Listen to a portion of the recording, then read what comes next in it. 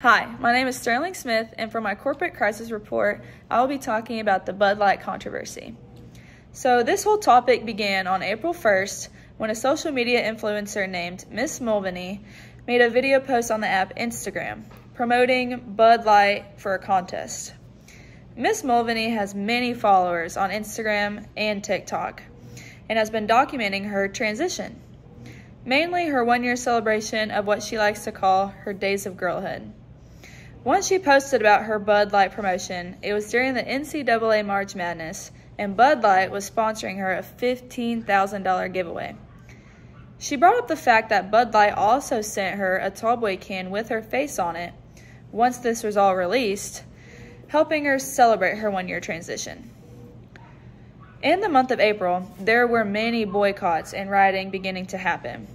This was the turn of events for the crisis. Launching all this chaos, some of the most well known musicians tried to voice their opinion against the transgender community. For example, Kid Rock, a very famous singer, uploaded a video of him shooting a stack of Bud Light cans. Going back to boycotts, Bud Light critics targeted the brands and portfolios of products, mainly Budweiser, Busch, Stella Artois, Michelob Ultra, and Hoegaarden. Others decided to share films of them shooting and lighting beer boxes on fire. After most of Bud Light's decline, the beer's brewer, Anheuser-Busch, declared that two workers were taking a leave of absence.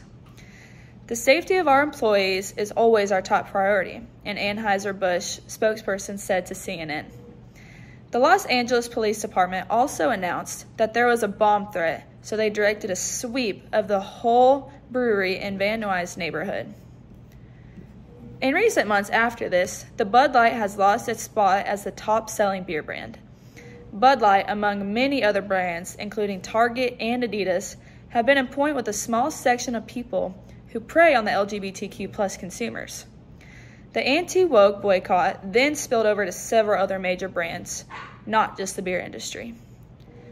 In the months since the initial backlash began, Bud Light has become a lightning rod for a much larger conversation about brands and social values. So Mulvaney took a break from TikTok after posting a video on April 1st, but then returned April 27th to address the harassment that the transgender community has received. But then on April 14th, Anheuser-Busch CEO Brendan Whitworth released a statement on the company's website, wrote about the importance of accountability and taking responsibility for ensuring every consumer feels good. He then concluded, Moving forward, I will continue to work tirelessly to bring great beers to the consumers of our nation. Conventional wisdom holds that controversies blow over, news cycles cycle, and a noisy protesters eventually quiet down. Yet, five weeks into the debacle, sales of Bud Light continue to plummet. Year over year, sales are down 17% since 2022. All signs indicate that the Bud Light controversy isn't going away. Most businesses see the report on a quarterly or on an annual basis, but Bud Light sales are issued on a weekly basis. The numbers are reported by a trade publication, mostly based on liquor stores, convenience stores, and supermarkets. Here's a different kind of example. Imagine if you were at a party and you had a Bud Light drink in your solo cup. Nobody would recognize if it was Coors Light or Miller Lite, nor do consumers care about the taste generally. Bud Light's relaxed, basic, and general appeal was their appeal, but that's all gone now. So that's likely why Bud Light's sales have dropped. Coors Light and Miller Lite have sales risen 20.5% and 21%. So there's really only one more reason why Bud Light sales have dropped.